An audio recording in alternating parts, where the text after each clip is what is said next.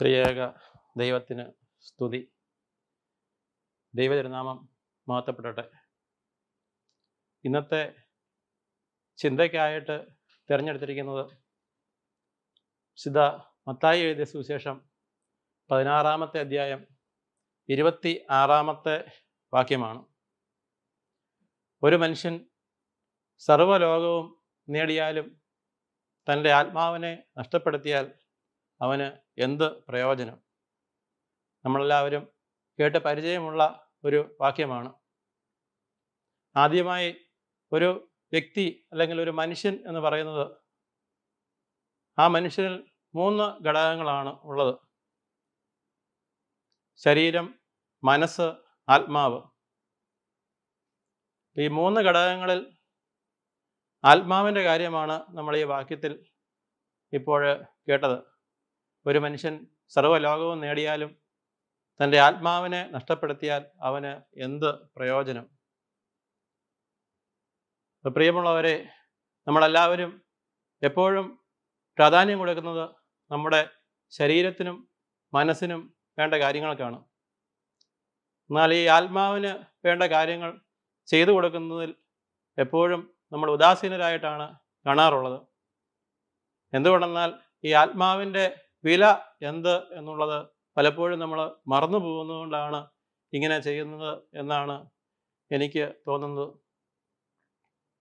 നമുക്കറിയാം അലക്സാണ്ടർ ചക്രവർത്തി ലോകം മുഴുവനും വെട്ടിപ്പിടിച്ച ആളായിട്ടും അദ്ദേഹത്തിന്റെ ശവമഞ്ചം കടന്നു പോകുമ്പോൾ അദ്ദേഹത്തിന്റെ രണ്ട് കൈകളും അതിന്റെ വെളിയിലേക്ക് ഇട്ടുകൊണ്ട് തനി ലോകത്ത് നിന്ന് ഒന്നും കൊണ്ടുപോകുന്നില്ല എന്നുള്ളത് കാണിക്കുവാനായിട്ട് കൈകൾ വെളിയിലേക്ക് ഇട്ടുകൊണ്ട് ആണ് അദ്ദേഹത്തിന്റെ അവസാനത്തെ യാത്ര കടന്നു പോകുന്നത്.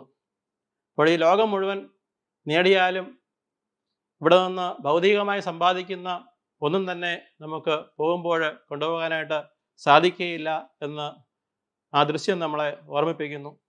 എന്നാൽ ആത്മാവിന് വേണ്ട സമ്പാദിക്കുകയാണെങ്കിൽ ഈ ആത്മാവ് നശിച്ചു പോകാത്തതായതുകൊണ്ട് അനശ്വരമായ ആത്മാവിന് വേണ്ട കാര്യങ്ങൾ നമ്മൾ നേടുകയാണെങ്കിൽ തീർച്ചയായും അത് നമുക്ക് കൊണ്ടുപോകാനായിട്ട് സാധിക്കും. ലോകത്തിൽ നമ്മൾ ഭൗതികമായും അതുപോലെ ശാസ്ത്രീയമായും അതുപോലെ മറ്റ് മേഖലകളിലും ഒക്കെയും വളരെ നേട്ടങ്ങൾ സമ്പാദിച്ചു കൂട്ടുന്നുണ്ട്. എന്നാൽ ഒരു വ്യക്തി മരിക്കുമ്പോൾ ഇതൊന്നും അദ്ദേഹത്തിന് കൂട്ടത്തിൽ കൊണ്ടുപോകാനായിട്ട് സാധിക്കുകയില്ല. എന്നാൽ ഈ നശിച്ചു പോകാത്ത ആത്മാവിന് വേണ്ട കാര്യങ്ങൾ സമ്പാദിക്കുകയാണെങ്കിൽ തീർച്ചയായിട്ടും അത് മരണാനന്തര ജീവിതത്തിൽ ഒരു മുതൽക്കൂട്ടായിരിക്കും എന്നുള്ളതിന് യാതൊരു തർക്കവുമില്ല. നമുക്കറിയാം ആത്മാവ് എന്ന് പറയുന്നത് അതിന്റെ വില ഏറ്റവും കൂടുതൽ മനസ്സിലാക്കുന്നത് പിശാജാണ് കാരണം പിശാജിനറിയാം ഈ ആത്മാവ് വളരെ വിലയേറിയതാണ് എന്നുള്ളത് നമ്മേക്കാൾ നന്നായി പിശാജിനറിയാം ഈ ലോകത്തിന്റെ പ്രഭു എന്നാണല്ലോ പിശാദിനെ വിശേഷിപ്പിക്കുന്നത്. അപ്പോൾ ലോകത്തിന്റെ പ്രഭുവായ സാത്താൻ ഈ ആത്മാവിന് വേണ്ട കാര്യങ്ങൾ ചെയ്തു കൊടുക്കുന്നതിന് എപ്പോഴും തടസ്സങ്ങൾ വരുത്തിക്കൊണ്ടിരിക്കും. അത് നമ്മൾ തിരിച്ചറിഞ്ഞ് ആത്മാവിന് വേണ്ട പോഷണം നൽകേണ്ടത് അത്യാവശ്യമാണ്.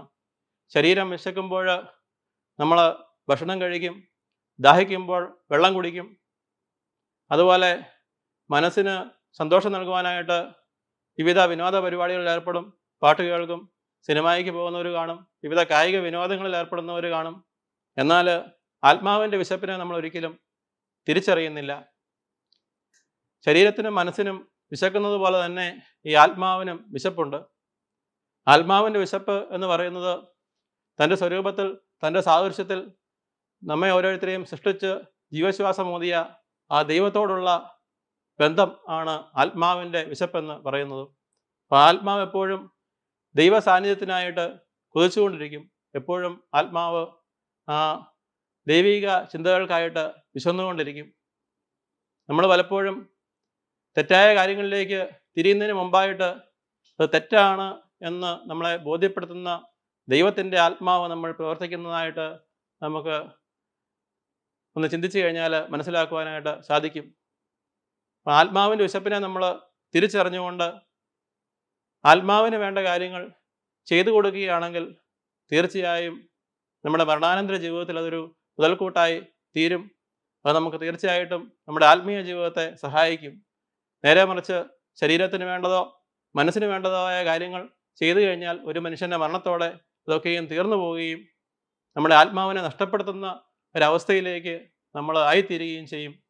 അതുകൊണ്ട് നമ്മൾ മത്തായ സുശേഷം പതിനാറാം അധ്യായം ഇരുപത്താറാം വാക്യത്തിൽ പറഞ്ഞിരിക്കുന്ന ഈ വാക്യം വളരെ ശ്രദ്ധാപൂർവം മനസ്സിലാക്കി ആ വാക്യം ഞാൻ ഒന്നുകൂടെ പറയാം.